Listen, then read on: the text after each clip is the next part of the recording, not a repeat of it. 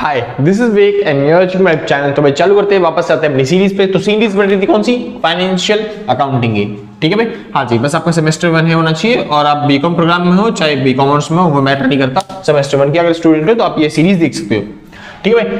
तो financial accounting के अंदर हम पहले से ही तीन चैप्टर ऑलरेडी खत्म कर चुके हैं, बल्कि जो चौथा चैप्टर था, उसका पहला पार्ट जो है, वो बन चुका है। ठीक है? तो एक बात बता दूँ भाई, छोटी सी, कि चौथा जो पार्ट था मतलब चौथा जो चैप्टर है, वो है इन्वेंट्री का। इन्वेंट्री के बारे में हमें सीखना था लीफो मेथड फीफो मेथड ये सब मेथड सीखेंगे। इन्वेंट्री की वैल्यूएशन निकालना सीखेंगे इस चैप्टर के अंदर। और मैंने पिछली वीडियो में बोला था कि इस चैप्टर के अंदर जो है तीन वीडियो बनेंगी। ठीक है? जिसके अंदर हम थोड़े से न्यूमेरिकल्स करेंगे, लेकिन मैंने ध्यान से जब बुक में देखा तो भाई पता चला, इस चैप्टर के अंदर न्यूमेरिकल्स है नहीं। बस थ्योरी सी है। भाई थोड़ी सी आवाज़ खराब हो रही होगी, क्योंकि छाला रखा मुँह में तो उसके लिए सॉरी क्योंकि आवाज़ ऐसा लगा तम्बाकू खा के बोल रहा हूँ मुँह में। ठीक है? समझते तुम तुम जब भी होता है तो ठीक है? तो उसके लिए माफ़ी चाहता हूँ, समझ लेना बस, ठीक है? आपस की बात है। तो भाई, इस चैप्टर के अंदर मतलब कि न्यूमेरिकल्स नहीं है न्यूमेरिकल्स नहीं है मतलब तो थ्योरी थ्योरी खाली लिफो फीफो मेथड की वो करें न्यूमेरिकल्स भी सुना दो, अगर एग्ज़ाम्पल मतलब अगर एग्ज़ाम में आ गए तो फिर कैसे करेंगे? तो भाई टेंशन मतलब वो सिखाऊँगा मैं, अगले वाले चैप्टर है ना, उसके अंदर न्यूमेरिकल्स ही दे रखे हैं तो अगले चैप्टर में आपको न्यूमेरिकल्स ही करनी पड़ेंगे, जो न्यूमेरिकल्स की वीडियो बनेगी, वो अगले चैप्टर से बनेगी मतलब कि चैप्टर नंबर फाइव से। ठीक है? हाँ जी तो न्यूमेरिकल चैप्टर नंबर फाइव में आएँगे तो यहाँ पे तीन वीडियो नहीं है, बस खाली दो ही वीडियो एक जो पहले वाली थी और एक वाली। मैं सोच रहा था, अगर पहले देख लिया होता तो मैं दोनों कंबाइन कर देता तो एक ही वीडियो में काम कर मिल जाता। लेकिन कोई बात नहीं, चलो, ठीक है। एक वीडियो आपकी डल चुकी है, दूसरी वीडियो ये रही। शुक्रिया, बस छोटी सी वीडियो है, जल्दी खत्म हो जाएगी। बात आती है इन्वेंट्री। अच्छा शुरू करने से पहले अगर आपको नोट्स परचेज करने हैं तो आप इस नंबर पर कांटेक्ट करके नोट्स परचेज कर सकते हो। जो भी मिनिमम अमाउंट होगा, आप पेमेंट करके आराम से नोट्स परचेज कर लोगे। और कोशिश करना सर कॉल वॉल ना करो। आप व्हाट्सअप करो, सबसे बेस्ट है, क्योंकि आपको जल्दी से जल्दी प्राइस मिलेगा वहाँ पे। ज़्यादा बोलते हैं बिज़ी रहते नहीं हम लोग। हम वेले वेले हैं, ठीक है? हाँ जी, बस केवल आपका कॉल अटेंड करने के लिए बैठे हैं। हम और दुनिया में किसी का कॉल अटेंड नहीं करते मतलब और किसी का मैसेज सीन नहीं करते, बस केवल आपके लिए बैठे हैं, ठीक है? तो जल्दी से कॉल टैग करने की कोशिश करना। शुरू करते फ़िलहाल तो बात आती है इन्वेंट्री रिकॉर्ड सिस्टम अब इन्वेंट्री रिकॉर्ड सिस्टम मतलब जब हम इन्वेंट्री की वैल्यूएशन निकालने जाते हैं तो फिर वहाँ पे देखा जाएगा कि कौन सा मेथड लगाते हो आप इन्वेंट्री रिकॉर्ड करने के लिए। जैसे डेप्रिसिएशन सुना था? एसेट्स पे डेप्रिसिएशन लगता है। डेप्रिसिएशन लगाने के लिए अलग मेथड होते हैं। एक होता है स्ट्रेट लाइन मेथड एक होता है डिमिनिशिंग बैलेंस मेथड तो अलग मेथड है। तो अलग तरीके से डेप्रिसिएशन लगता है। इसलिए अलग तरीके से वैल्यू निकलती है। सेम इस तरीके से। अगर आप किसी मतलब इन्वेंट्री की वैल्यूएशन निकालना चाहते हो स्टॉक्स की वैल्यूएशन निकालना चाहते हो कि आपके पास जो स्टॉक है वो कितने का बच्चा तो आप क्या करोगे? सर, यहाँ पे आप यूज़ करोगे इन्वेंट्री रिकॉर्ड सिस्टम और इन्वेंट्री रिकॉर्ड सिस्टम कहता है इन्वेंट्री को रिकॉर्ड करने के लिए हमारे पास दो मेथड है। पहला मतलब पीरियोडिक इन्वेंट्री सिस्टम दूसरा परपेक्चुअल इन्वेंट्री सिस्टम अब पीरियोडिक इन्वेंट्री सिस्टम और परपेक्चुअल इन्वेंट्री सिस्टम में डिफरेंस क्या है? समझ आ पीरियोडिक नाम से पता चल रहा है, किसी एक टाइम पीरियड के अंदर हमने कितनी इन्वेंट्री का सेल किया, वो आपको बताना है किसके अंदर? पीरियोडिक इन्वेंट्री सिस्टम में। आसान है? हाँ जी। फॉर एग्ज़ाम्पल अच्छा और परपेक्चुअल इन्वेंट्री सिस्टम ये सिंपल होता है सर। इसमें हमको रोज काउंट करना पड़ता है, लगातार कंटिन्यूसली प्रोसेस चलने वाली है, ठीक है? कि हमको रोज काउंट करना पड़ता है कि हमारे पास कितना माल है और कितना माल गया, कितना माल आ रहा है। इस तरीके से हिसाब किताब लगाना पड़ता है। इसमें ऐसा नहीं है। इसमें पीरियोडिक मेथड चलता है, इसमें रोज। जैसे आपके पास सामान आया इस मेथड के अंदर आप इसको रिकॉर्ड करोगे। आपके पास से सामान गया, इस मेथड में रिकॉर्ड करोगे। अगले दिन फिर आ रहा है, फिर जा रहा है, फिर आ रहा है, फिर जा रहा है। ऐसी पूरा साल चलता है। तो आप यही करते रहोगे रिकॉर्ड करना है, फिर उसके बाद बेचना है, फिर उसके बाद रिकॉर्ड करना है, फिर इशू करना है। इस तरीके से आप क्या करते रहोगे, सामान को, हर प्रोडक्ट को मतलब रिकॉर्ड करोगे यहाँ पे। यानी day to day daily transaction जो भी होते हैं, वो सारे रिकॉर्ड किए जाते हैं इस मेथड के अंदर। किसमें? परफेक्चुअल मेथड में। और दूसरा जो पीरियोडिक मेथड होता है, इसके अंदर बस खाली साल के एंड में या फिर महीने के एंड में, जैसे आपको बैलेंस शीट बनानी है अपनी, उस हिसाब से आप मेथड में यूज़ करके मतलब इस मेथड को यूज़ करके आप वैल्यूएशन निकाल सकते हो। इस मेथड में खास बात क्या है? ये जल्दी होता है शॉर्ट होता है, आसान होता है, हर कोई कर लेता है। इसलिए सिंपल सा है, खुद सोचो। इस मेथड में कैसे यूज़ करते हैं? कैसे निकालते हैं? हमने कितने माल बेचा? देखिए फॉर एग्जांपल पे स्टार्टिंग में पास था ओपनिंग स्टॉक 40 यूनिट का। मेरे पास 40 यूनिट थी किसी भी चीज़ की। मान लो पेन जो थे, मेरे पास 40 पेन थे। सिंपल चलिए तो मेरे पास स्टार्टिंग में जब बिज़नेस चालू किया तो हमारे पास 40 पेन थे। और जब मान लो हमें बैलेंस शीट बनानी है, उससे एक दिन पहले हम देखेंगे, भाई, कल बैलेंस शीट बनानी है। तो बस आज चेक कर लो, अब की क्लोजिंग स्टॉक कितना बचा? तो क्लोजिंग स्टॉक में पता चला, हमारे पास जो क्लोजिंग स्टॉक है, वो पंद्रह यूनिट का है। यानी कि पंद्रह पेन बचे हुए बस खाली क्लोजिंग स्टॉक के तौर पर यानी कि हमने बाकी पेन बेचा भी होगा। है ना भाई? चलिए तो हमने कितने पेन बेच दिए? तो 40 में से 15 चले गए तो कितना बच गया?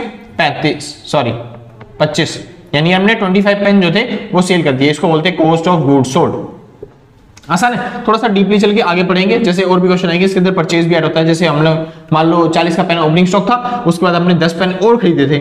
तो टोटल को पेन कितने हुए? पचास के हो गए। ठीक है, उसमें से हमने सेल कितने के मतलब सेल कितने के कर दी है वो निकालना है। तो उसके लिए हमारे पास क्लोजिंग स्टॉक कितना है? पंद्रह पेन। तो उस टाइम पे हमारे पास निकलेगा भाई लगभग कितना? पैंतीस। तो 35 यूनिट जो हमने सेल करी होगी उस टाइम पे। क्योंकि परचेज के अलावा माल भी तो ऐड हो गया ना। तो ओपनिंग स्टॉक प्लस में परचेज बस वही फॉर्मुला जो आपको सिखाया था, वही फॉर्मुला यूज़ होता है इसके अंदर। यानी कॉस्ट ऑफ़ गुड्स सोल्ड कैसे निकलेगा? ये निकलेगा ओपनिंग स्टॉक प्लस में परचेज प्लस में डायरेक्ट एक्सपेंस और उसके बाद माइनस में क्लोजिंग स्टॉक बस ये वाला मेथड लगा दोगे, ये वाला फॉर्मुला ये लगा दोगे, आपका ये वाला मेथड पूरा कंप्लीट हो जाएगा।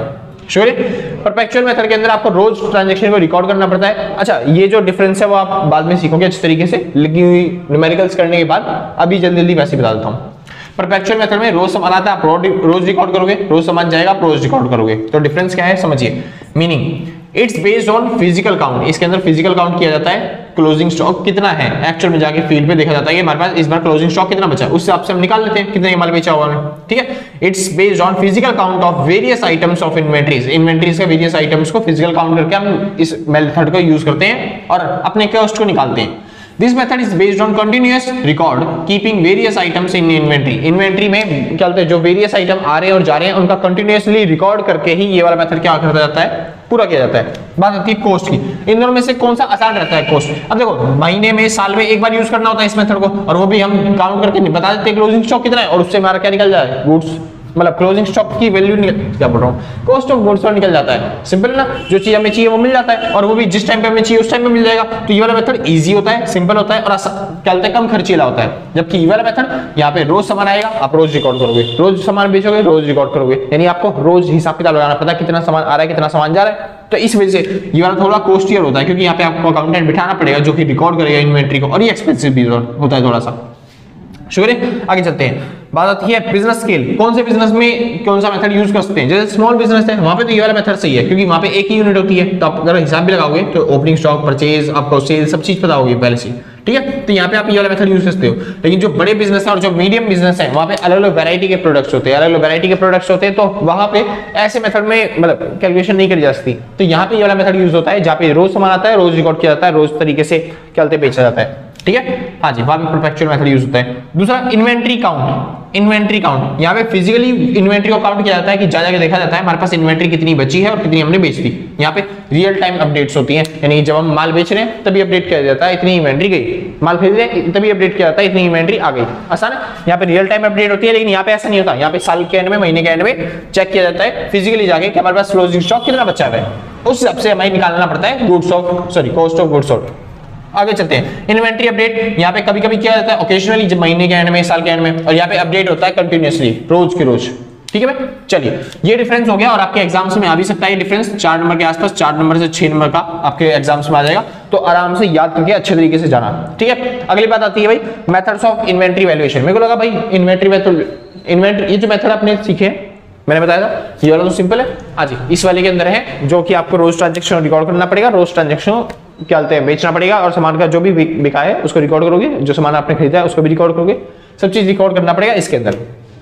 ठीक है? चलो करते हैं। तो इसके मेथड ज़्यादा है थोड़े से। तो इसके कितने मेथड है सर शुरू करते method of inventory valuation inventory valuation के मेथड कितने हैं? चार मेथड हैं basically FIFO method first in first out बोलते हैं जिससे अगला LIFO method last in first out उसके बाद होते हैं वैल्यू एडेड मेथड इसको बताएँगे आगे।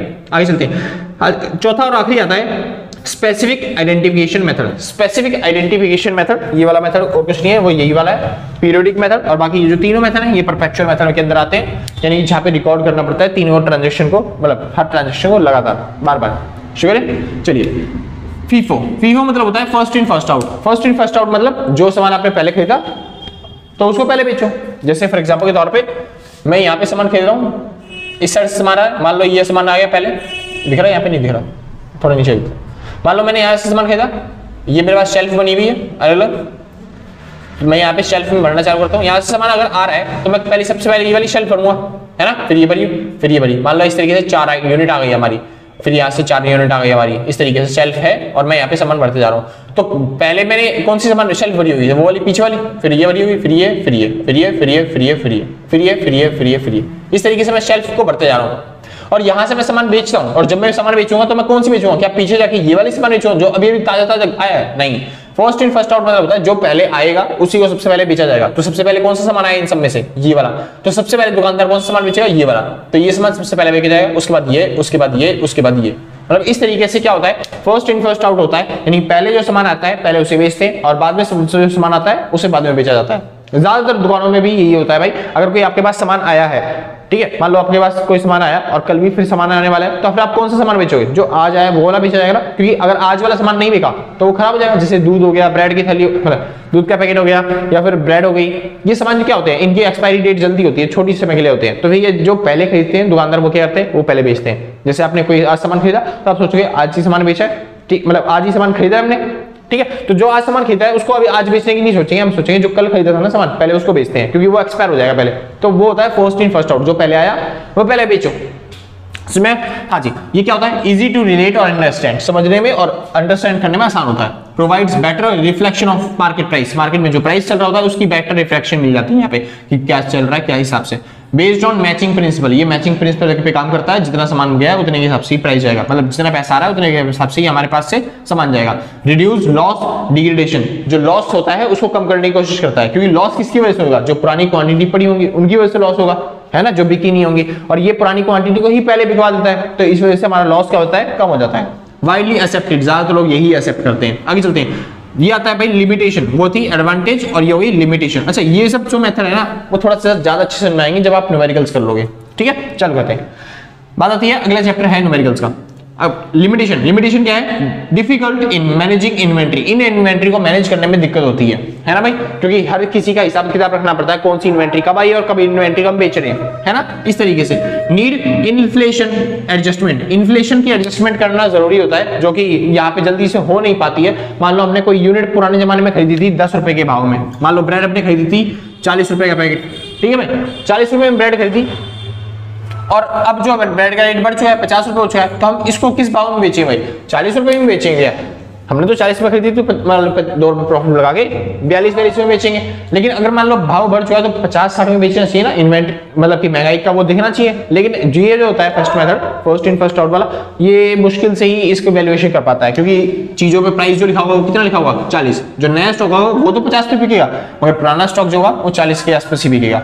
श्योर है? हाँ जी तो नीड क्या होता है इन्फ्लेशन एडजस्टमेंट इसमें इन्फ्लेशन एडजस्टमेंट की ज़रूरत होती है, जो कि हो नहीं पाती है। श्योर है अगला आता है लीफो मेथड लीफो मेथड बहुत आसान है। लीफो मेथड होता है लास्ट इन फ़र्स्ट आउट जो सबसे लास्ट में आया, उसको पहले बेचेंगे।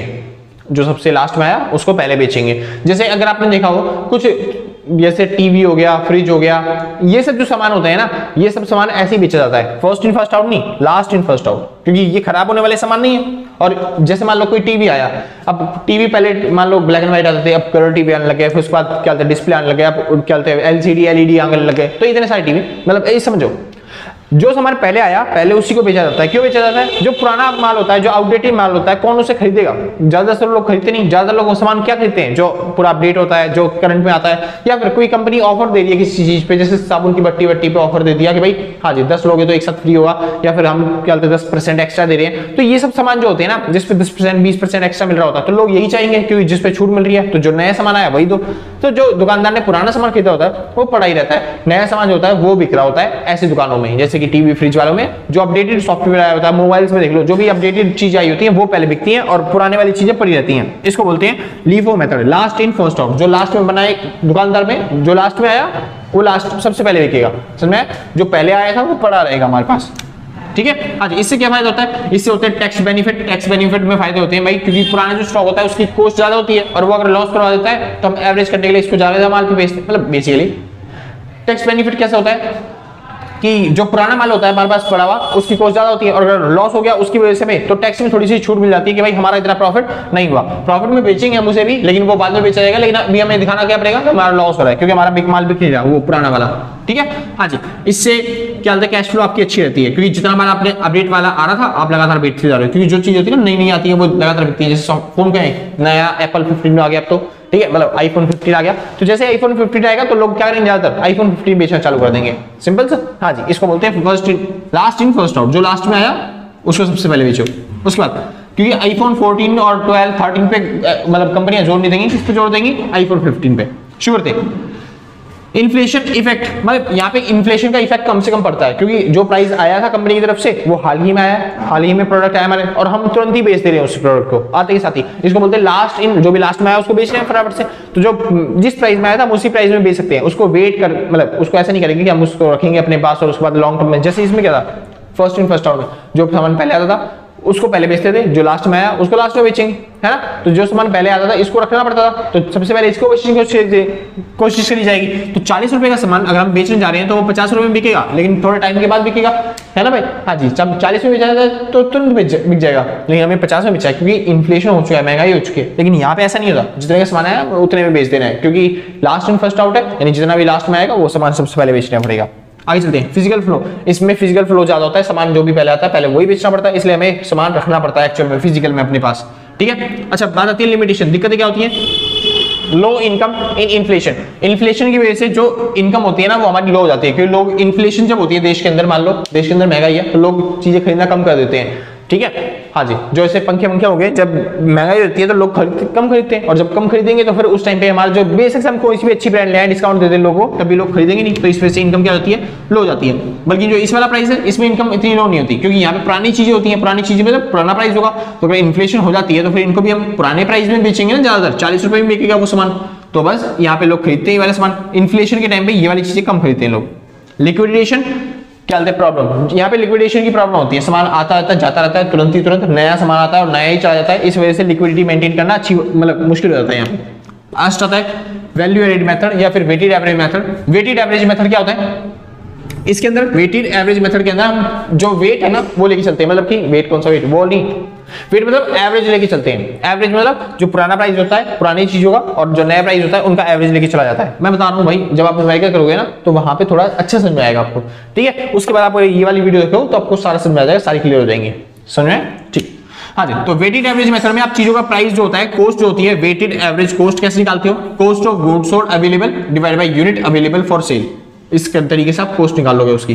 अगला आता है weighted average cost weighted average cost इससे निकालना क्या होता है? थोड़ा सा आसान हो जाता है, क्योंकि इसकी जो प्राइस होते हैं वो जितना ज़्यादा बड़े ज़्यादा होते हैं और ना ही ज़्यादा क्या होते हैं? कम होते हैं। एवरेज प्राइस होता है एवरेज कोस्ट होती है चीज़ों की। रिस्क भाई एवरेज रिस्क होता है यहाँ पे। ऐसा भी नहीं होता कि इसकी तरह की भाई बहुत ज़्यादा रिस्क लॉस हो जाएगा हमारा, लेकिन इसके तरह भी नहीं होता कि ज़्यादा प्रॉफिट हो जाएगा। तो इस तरीके से रिस्क जो होता है वो एवरेज होता है। Average effect on inflation inflation पे एवरेज इफ़ेक्ट होता है। यानी बहुत ज़्यादा इफ़ेक्ट भी नहीं पड़ता इन्फ्लेशन से और बहुत ज़्यादा कम इफ़ेक्ट भी नहीं पड़ता इन्फ्लेशन से। एवरेज चलते हैं ना दोनों का। उसके बाद कोस्ट इसमें कम लगती है।